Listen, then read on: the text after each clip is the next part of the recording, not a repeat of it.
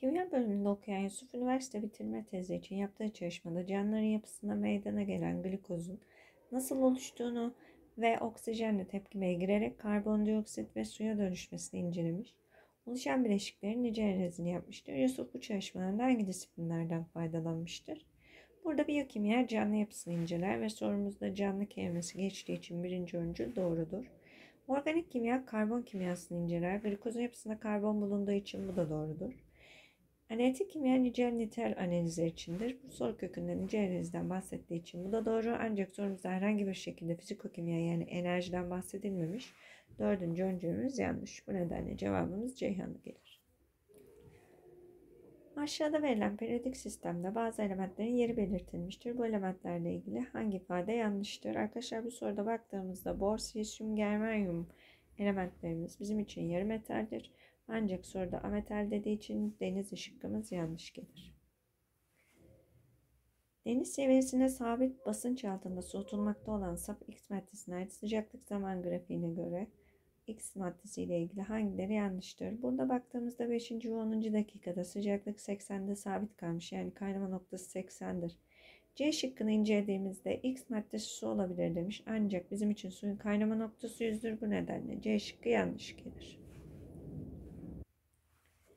Periyodik sistemde bulunan 6A ve 7 elementlerinin hidrojenle yaptığı bileşiklerin kaynama sıcaklığı ve periyot numarası değişim grafiğine göre hangileri doğrudur diye sorulmuş. Birinci önceye baktığımızda suyun kaynama noktası dihidrojen monosülfürinkinden büyük olmasından sebebi H2O molekülü arasında hidrojen bağının etkin olmasıdır. Evet arkadaşlar hidrojen bağı için hidrojen elementinin yanında flor, oksijen ve azot olması gerekiyor. Birinci öncülümüzde olduğu gibi hidrojen bağı var suda. Bu nedenle doğru olur. HCl molekülleri arasında dipol-dipol etkileşim vardır. Bir sürü HCl molekülü varmış gibi düşünürsem dipollük benim için polar molekül isterdi. Burada bir sürü polar molekül olduğu için evet bizim için burada dipol-dipol etkileşim oluşur. Bu öncülde doğru. Hidrojen hidrojen molekülleri arasında London etkileşimi hidrojen bromür molekülleri arasındaki London etkileşiminden daha zayıftır. Bizim için kütle arttıkça yani molekülün kütlesi MA arttıkça London artıyor. Hidrojen iyodürün kütlesi hidrojen bromürden büyük olduğu için üçüncü öncül yanlış. Buradan cevap bol gelir. Demir ve sülfür elementleri arasında demir sülfür, demir 2 sülfür ve demir 3 sülfür bileşikleri oluşmaktadır. Demir 2 sülfür bileşiğinin 17,6 gramında 6,4 gram kükürt elementi olduğuna göre ifadelerinden hangileri doğrudur diye sorulmuş.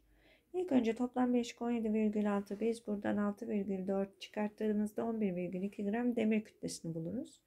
11,2 gram demir kütlesini 6,4 gram kükürt kütlesine oranladığımızda ve 16 ile sadeleştirdiğimizde 7'ye 4 oran geliyor. Bu da birinci öncülü doğru kılar. İkinci bileşiğimiz değişmekte. Demir 3 sülfür bileşiğin sorulmakta. Buradan yeni bir oran bulmalıyım. Demir ve kükürt elementlerinin oranı 7'ye 4 olduğunu biliyorsam 2 tane demir 3 tane kükürtten buradaki yeni oranımız 7 bölü 6 olur. Bana soruda 28 gram demire 24 gram kükürt olur mu diye sormuş. Her ikisinin 4 katını alırsam 28'e 24'ü yakalıyorum. Bu da ikinci öncülde doğru kılar. Eşit kütlelerde demir ve kükürt kullanılarak tam verimli tepkime sonucu 44 gram demir sülfür oluştuğunda 12 gram kükürt elementi artar. Orana baktığımda 7'ye 4 aldığımda 11 gram bileşik oluştuğunda 3 gram artıyor. Burada ben 44 gram yani 4 katı kadar toplam kütlede bileşik alıyorum. Onun için 4 katı 12 gram kükürt elementi artar.